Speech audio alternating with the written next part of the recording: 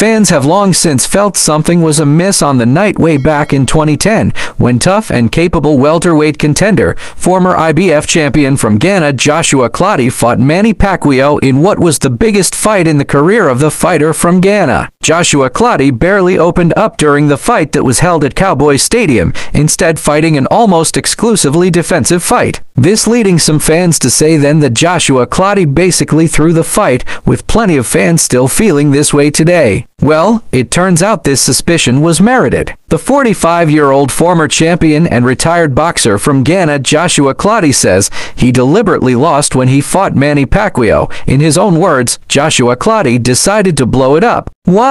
Joshua Clottey was disgusted with the poor money he was going to get from the fight. Not only that, but he was angry at the contract he had regrettably signed with his manager, the deal still having three years to run before reaching its end. Joshua Clottey was not willing to give his all in the ring with the Philippines fighter Manny Pacquiao. Joshua Clottey's manager Vinny Scolpino had already accepted $1 million as payment. Joshua Clottey said, I came in and negotiated $1.35 million.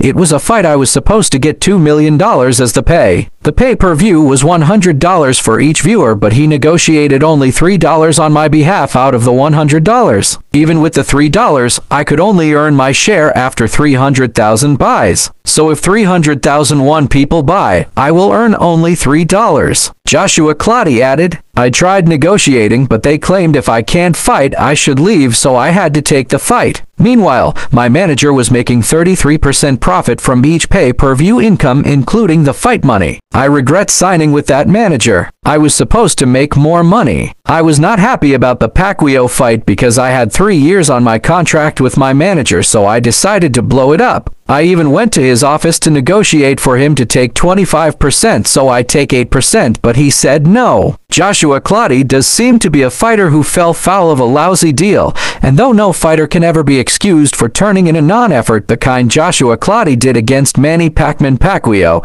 it's not that hard to understand why Joshua Clottey did what he did. Why fight hard, thus risking your life, if you are being, for want of a better word, shafted? Joshua Clottey was a far better fighter than he appeared to be on the evening of March 3, 2010, and now we know why the world never got to see the Grand Master offer much of a fight.